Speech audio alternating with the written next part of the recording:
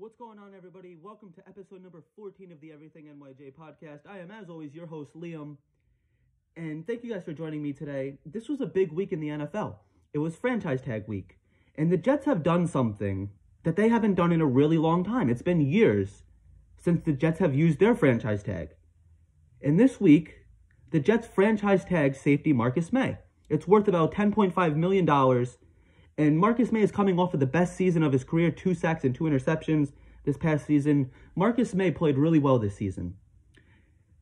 I absolutely love that the Jets franchise tagged Marcus Maye. He's 28 years old. He's on the older side of the NFL. I like it because there's no long term commitment here. Like I said, he's coming off of his best season.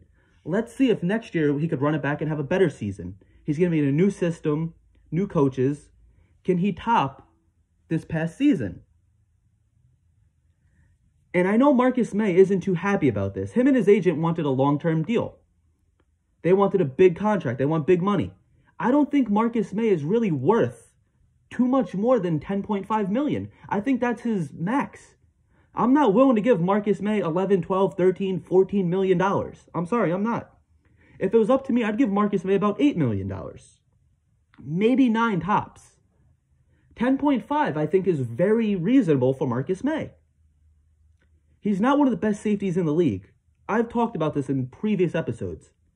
He's very good for the Jets. He's a good fit on the Jets, and he's serviceable for the Jets. But we don't know what his value would be in free agency. I really think that Marcus Maye wanted to, you know, look around and shop himself in free agency and see what the market for him is like. But I, I'm just not comfortable giving Marcus Maye a big contract. And I understand that the Jets are trying to do the right thing. We have argued and complained as Jets fans for so long that the Jets don't keep their own players. So they're doing that this year with Marcus Maye. However, I just I just don't think he's worth that big contract. I, am sorry, I don't. And he wants that. Marcus Maye and his agent, especially his agent, he went on Twitter and he basically blasted the Jets a couple weeks ago, last week. And Joe Douglas actually acknowledged it during his press conference and he said, it's just business, it's negotiating, it's the way the NFL operates. Which it's true. Business isn't really done privately anymore.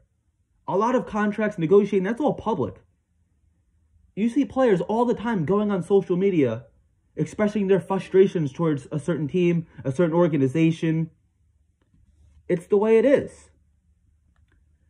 I'm hoping that Marcus Maye, I'm hoping he outdoes himself. I want him on the Jets. I just don't want to pay him a ton of money. The term Jet for life, that's really been thrown around a ton. And I really think that Joe Douglas wants to make Marcus Maye a Jet for life, but I don't think Joe Douglas is interested in paying Marcus Maye just as much as I'm not interested in it.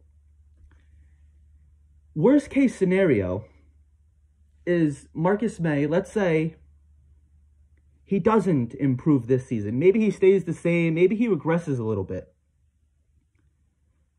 But let's say he doesn't want to be on the Jets. So he leaves or whatever. Worst case scenario, we draft a safety next year. In this draft class, I want to go offensive heavy this year. Quarterback, running back, not really running back, actually. See, the thing is, I don't want to draft really a running back. If anything, I want to sign a free agent running back. But yeah, you know, so maybe quarterback, wide receiver, offensive lineman, tight end. I really want to go offensive heavy in this draft. And then next year, I wouldn't mind going defensive heavy. In theory, the offense should be improved. If we go offensive heavy, the offense should be much better improved. Next year, I want to go maybe defensive heavy. Maybe we get a defensive lineman. We might have to draft a linebacker because CJ Mosley's coming back this year, and he's a big question mark. CJ Mosley's now two years removed from football. We don't know what he's going to be. We don't know what kind of shape he's going to be in. We might have to draft a linebacker. Maybe we draft a corner. Maybe we have to draft a safety. I think by 2023, one year, you know, 2021, we're going offensive heavy. 2022, we're going defensive heavy. 2023, things should really start to pick up for the Jets. I think that we could start getting some luxury picks. Maybe we could go running back in the first round if we have to. Maybe we could go tight end in the first round. Something like that. Something that's not a top priority like it's going to be in these next couple years. Because the Jets the Jets have a ton of holes on this team. There's certain positions that are more valuable than others. They're called premium positions.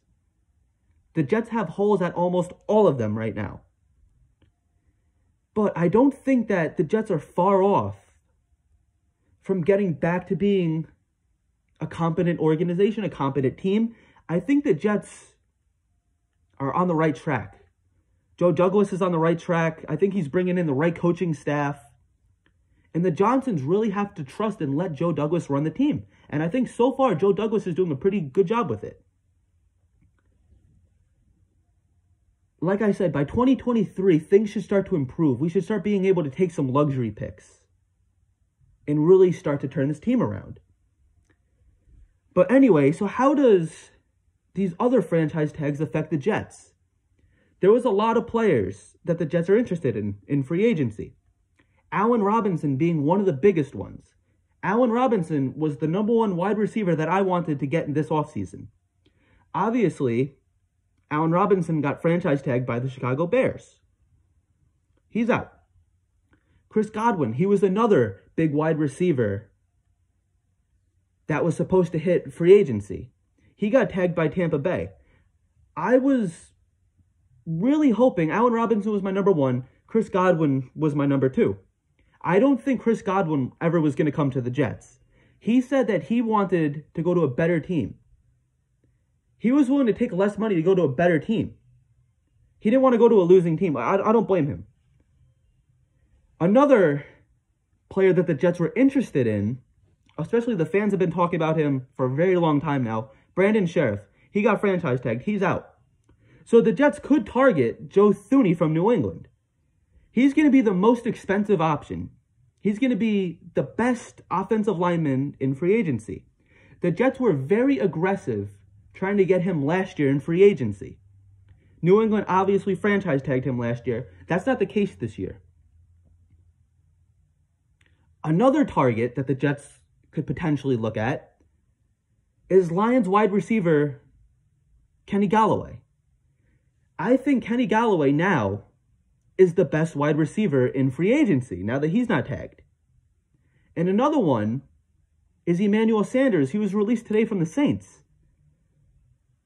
Kenny Golladay, I value over Sanders. I'd rather have Kenny Golladay. He's a little bit younger. And I just think that he's more of a fit for the Jets system this year.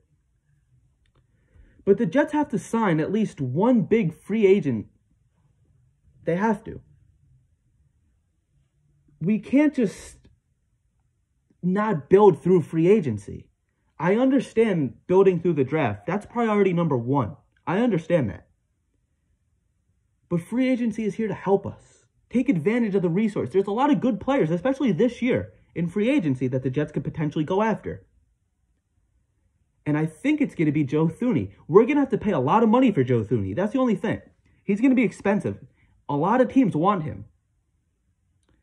But the Jets could offer the most behind Jacksonville. The Jets could offer the most. The Jets, the ball's really in the Jets' court. The Jets realistically can go after whoever they want. Obviously, they can't sign everybody, can't get everybody. But they can really go after whoever they want. You want a big player? What are you willing to give up for him? You want Deshaun Watson? How many picks you want to give up? You want Joe Thuney?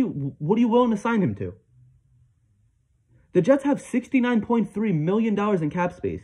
That's the second most in the NFL, right behind the Jacksonville Jaguars. And that's also including Marcus Maye's franchise tag, and they're still cutting more players. Potentially, Jamison Crowder is getting cut. That's going to save you like uh, 10 million right there. A couple other guys are going to be getting cut.